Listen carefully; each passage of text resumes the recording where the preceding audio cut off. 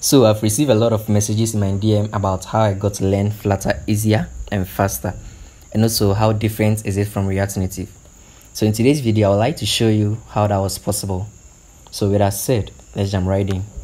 So coming from a React Native background, whenever I decided to replicate an app or UI, I always start to break everything into components.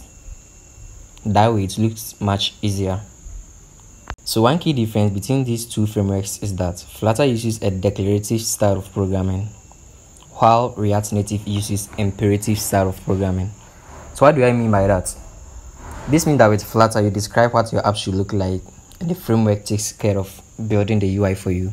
Unlike the React Native, where you have to write code to build each component of your UI separately. So taking this UI for instance, breaking it into components will consist of the app bar session, and also the test session, the search input component, the last connection component, the active project session, and lastly, the bottom navigation session. That's how I will first of all view it before I just start building it. So when you decide to break this into components, it will look much easier. Then you go to start with the app bar session. And the app bar session basically consists of the profile, picture, the name, and also the notification. And there is a space between them. And also with the app bar session, there are different ways you can go about it. One might use the app bar property in the scaffold. So one also can use the row widget. So within the row, it has a children property where you can place all these items. Flutter also provide the circle avatar. You have the test widget and also the icons. So when you place all these items within the row, automatically they'll be aligned horizontally. Then you go to specify the main axis alignment, whether to be space between, space around, or space evenly.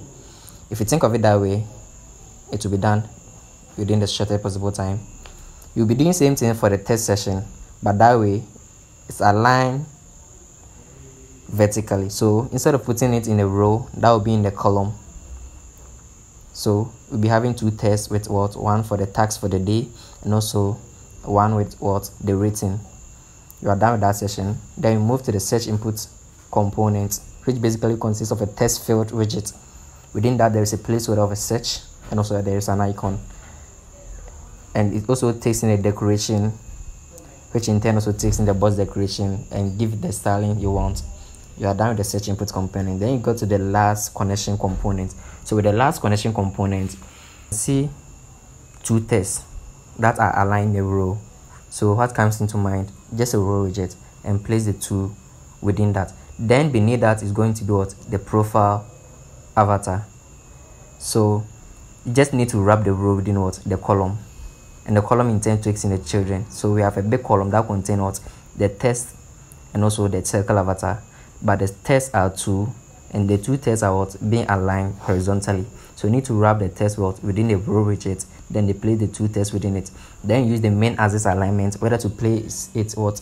Space between space around or evenly depending on how you want it.